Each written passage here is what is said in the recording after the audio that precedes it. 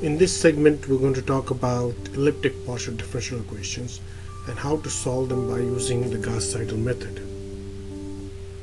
If you want more details on this topic, including a textbook chapter, you can go to the Numerical Methods Open Courseware web page, click on Keyword, and click on Elliptic Partial Differential Equations.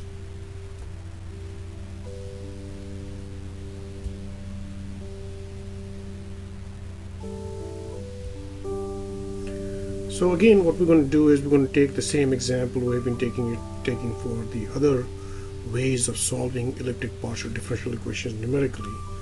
So we are looking at a rectangular plate and uh, the temperatures on the edges of this rectangular plate are given to be these and what we want to do is we want to find out what the temperature will be inside this plate as a function of x and y the temperature of the plate, uh, the steady state temperature of the plate is given by this particular uh, second order linear elliptic partial differential equation and that's what we want to use to be able to find out what the temperature inside this plate will be. So recapping what we have done basically is that we have taken this rectangular plate and broken it up into square grids here. So we have n plus 1 nodes uh, in the x-axis and n plus 1 nodes in the y-axis. And what we are doing is that we are writing down the equation for the temperature at a particular node. So we take the same node we look at it uh, here based on node numbering. The x uh, node is given as the number i the y uh, coordinate is given the node j and uh, we have already found out that when we take this Laplacian equation the second order linear uh, elliptic partial differential which we, which we had it can be discretized in this particular form here. So where we have the temperature at the node which we are interested in is given in terms of the temperature at the node here the temperature of the node here temperature of the node here and the temperature of the node here. So the temperature at the node in the middle which is right here is given by the temperatures of the four surrounding nodes and that's what the discretized equation gives us. So what Gauss-Seidel method is going to do is going to help us to find out how to uh, solve this particular equation this discretized equation. So we have the discretized equation as given by this here. What we do is we rewrite it in terms of the other four. So we write down the Tij which is the temperature at the current node or at a particular node in terms of the four surrounding nodes. That doesn't mean that we can find out what the temperature here is. It's just that if we assume certain temperatures at these particular nodes here, or if they are given by the boundary conditions, we can find an estimate of the temperature of the current node. So it becomes an iterative process. So basically what Gauss-Seidel method does here in this case is it solves the equations iteratively uh, you meet a certain pre-specified tolerance. If you want more information on the Gauss-Seidel method, all you have to do is to click on the annotation at the bottom of the screen and you'll be taken to the uh, videos which show you how the Gauss-Seidel method works. So we're going to take the same example as we're taking for the direct method. So in the Gauss-Seidel method, what we are doing for the example, we're taking a plate which is 3 meters wide, 2.4 meters long, yeah, the temperatures on the four sides are given by these. And what we want to do is we want to be able to find out what the temperature uh, in the in the plate is at different points. We are going to take a, a grid length of 0.6 meters which basically means that uh, uh, we'll have four grids along the x-axis and we'll have five grids along the y-axis. And we're going to assume that the initial temperature guess at the interior nodes is 0 degrees Celsius. Please note that this is only the initial temperature guess, not the initial temperature of the plate, but what we're going to guess at the different nodes which we're going to choose, the temperature would be 0 degrees Celsius. You can choose, um, a better guess would have been to choose the average of the boundary uh, condition uh, um, temperatures, but uh, just to keep things simple, we're going to choose a 0 degrees Celsius.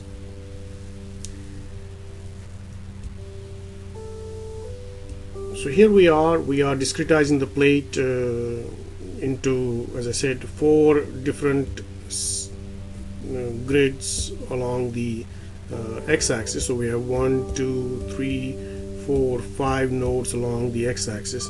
And then we are discretizing it into five grids along the y-axis. We have one two three four five six. We have six nodes on the y-axis.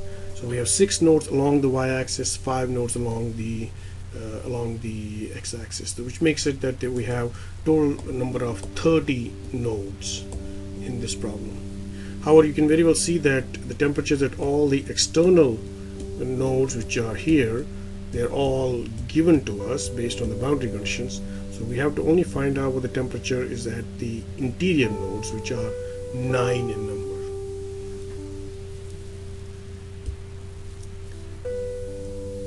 so uh, as I was talking to you about that we have uh, we have uh, not 9 but 12 we have 12 nodes at which we don't know what the temperature is and those are these particular nodes right here.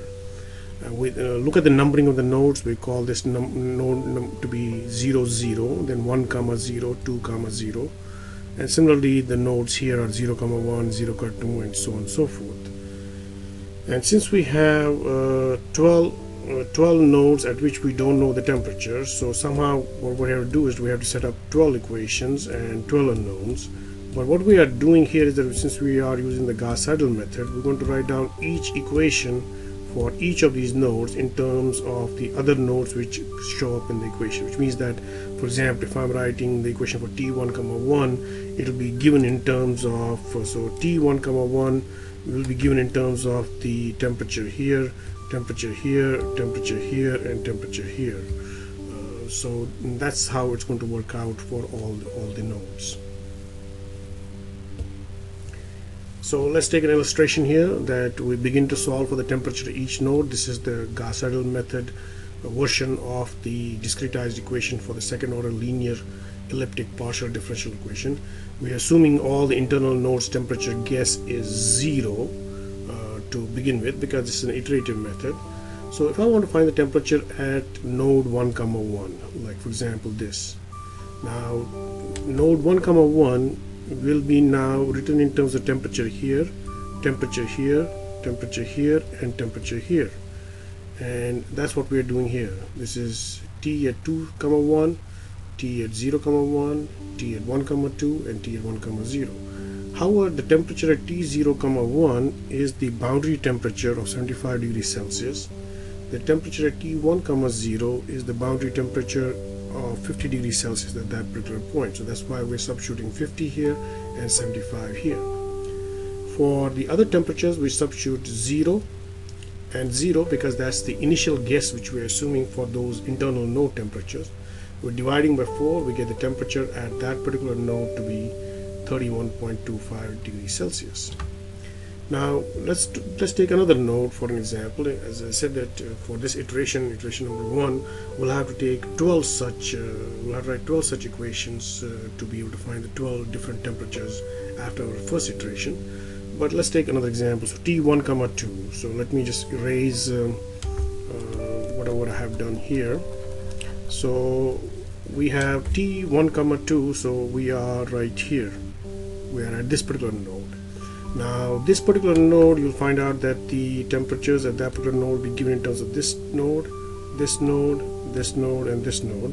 And what you're seeing here is that the temperatures are given in terms of the three internal nodes and one external node which is at 75 degrees Celsius. So let's take care of that. So this is the external node T is equal to 0 comma 2 and the temperature there is 75 the temperature at T2 comma 2 is 0 the temperature at T1 comma 3 is 0 but the temperature at T1 comma 1 is not 0 although it's an internal node. It's 31.25 so basically what you have to understand is that as you're going from node to node use the most recent temperature to be able to find what the temperature at the next node is. So based on that we get 26.5625 as our answer for the temperature at node 1 comma 2 You'll continue doing the same things for the other nodes and that's how you'll be able to find out what the temperatures will be at each and every node for the first iteration. So I have summarized uh, the temperatures which we get up to uh, the integer part of the temperature uh, for at all these internal nodes. This is the temperature which we get at the internal nodes by following the same procedure for each and every node. And uh, we have to figure out that hey, uh, what is the uh, should we go for another iteration? As you can see in this case, the uh, relative absolute relative approximate error at this stage will be 100% for all these different nodes because we assume the initial temp initial guess to be zero at the as the temperature at these nodes. So we know that we have to conduct more iterations. So let's go and see how we conduct another iteration. So if we're going to go for second iteration and let's suppose now we are talking again about node 1 comma 1 again we will write it in terms of the nodes which are around that particular node. We substitute this is the temperature which we got at um, from the first iteration. This temperature is from the boundary condition. This temperature is from the uh, first iteration and this temperature is from the boundary condition and we get a temperature of uh, 42.9688 degrees centigrade at node 1 comma 1 now again what we can do is what we're supposed to do is to calculate what the absolute relative approximate error at that particular node is which is the present temperature minus the previous temperature divided by the present temperature right here so 42.9688 is the present temperature which was calculated at the end of iteration 2.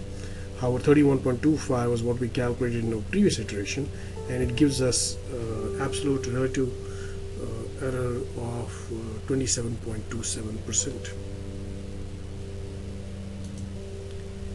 so we conducted uh, again this uh, iteration number 2 and these are the results which we obtained for the temperatures at the end of the iteration number 2.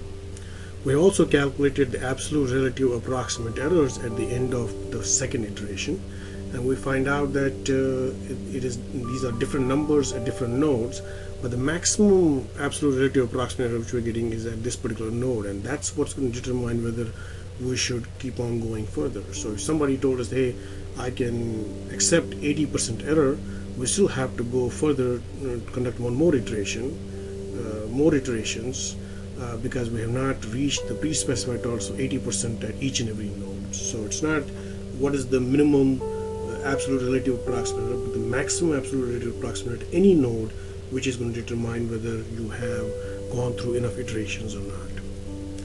So you understand how the process works. So what we what we have done here is that we have summarized some of the temperatures which we got from the these are the temperatures which we got from the first iteration this is the temperature which we got from the second iteration and then we conducted more iterations as we go along and these are the results at the end of the 10th iteration in fact these uh, results which you're seeing at the end of the 10th iteration are within 1% of the pre-specified tolerance so when we compared all of these numbers this number with the ninth iteration this number with the ninth iteration and all of these numbers were compared with the corresponding values of the ninth iteration the absolute relative approximate error which we got for all of these 12 nodes was less than 1%. So if somebody would have said that, hey, you can have as much as 1% pre-specified tolerance, then we know that we can accept uh, the results at the end of the 10th iteration to be our temperature distribution in the plate at steady state.